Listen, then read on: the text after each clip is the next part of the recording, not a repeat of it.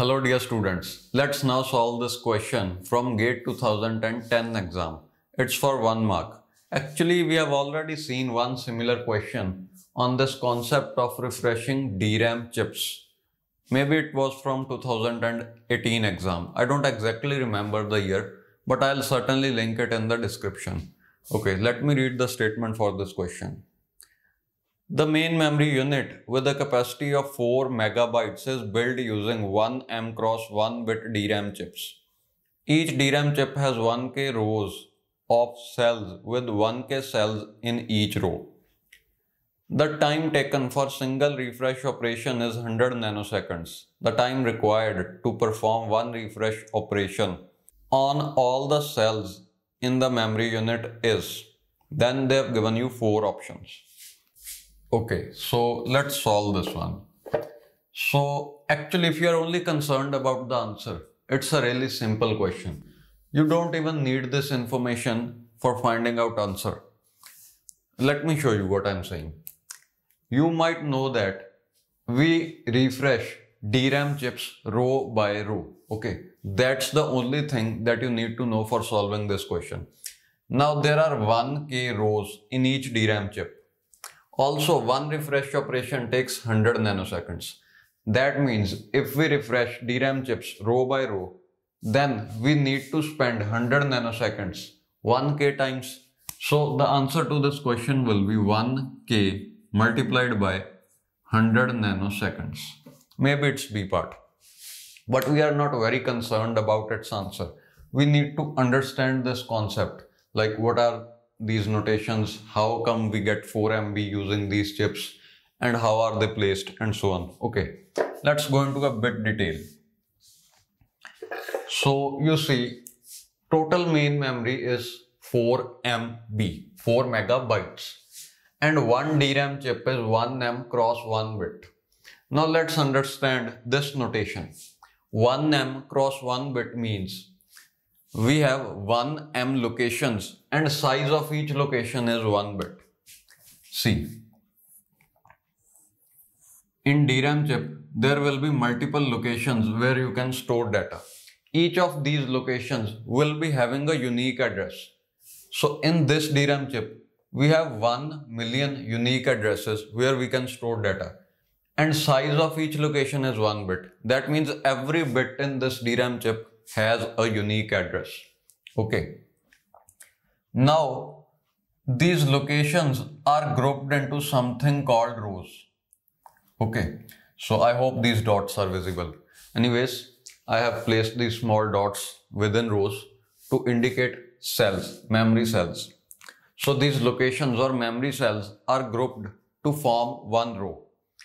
Why are we forming rows? Because we want to refresh multiple cells at same time. Now you might ask what is refreshing? DRAM chips, that is dynamic RAM chips, they are made out of capacitors and capacitors lose, uh, lose charge over time.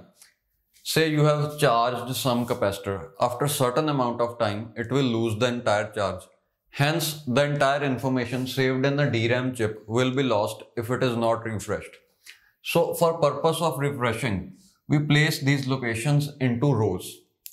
They are saying we have 1k rows and each row has 1k cells. So how many total cells will be there? 1k into 1k. That's this 1m. That means 1m cells are divided into 1k rows where each row has 1k cells. So there are 1k locations per row in a DRAM chip. Now this is 4 MB and this is 1 M byte. Let's find out how many DRAM chips, how many such chips will be required to get 4 MB of memory. So this is 4 MB divided by 1 M bit okay 1 m into 1 bit you can just solve it this comes out to be 8 into 4 which is 32 just convert this byte into bit you will get 32 that means 32 such chips will be required now i've already told you the answer that it is 1k into 100 nanoseconds. Some of you might get a doubt. If we have 32 chips, why are not we multiplying this? I told you that answer is 1k multiplied by 100 nanoseconds. Some of you might argue, why are we not multiplying it by 32? Because we have 32 chips. Answer to this question is, each of these chips are individual separate circuits. Any data, sorry, any circuit that is required for refreshing a chip is there within this chip. So each and every chip can be refreshed individually. That means all of these 32 chips are refreshed in parallel. Okay. The only thing that you need to take care is these rows sorry, these chips are refreshed row by row. Say at, at some time, you are refreshing this ninth row.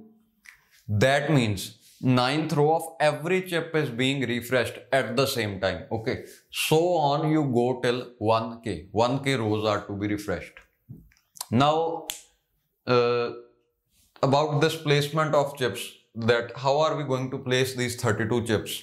We cannot say anything because they haven't given you whether this memory is byte addressable or like you cannot just conclude that this 4 MB means 4 M locations each of 1 byte. That cannot be concluded. So placement of chips is really not known here. But you can just see one case. In this case, you will be having 8 chips uh, to this side and 4 chips to this side. That means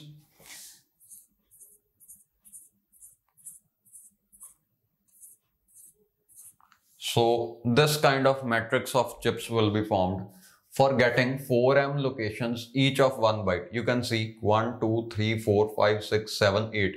8 chips are combined to, to this side. I'm actually very reluctant to use the word row here. So that's why I'm not able to express myself because I'm not using the word four rows of eight columns and so on. Because rows are already used here. You just understand this is a matrix where eight chips are there to this side and four chips are there this side. Okay.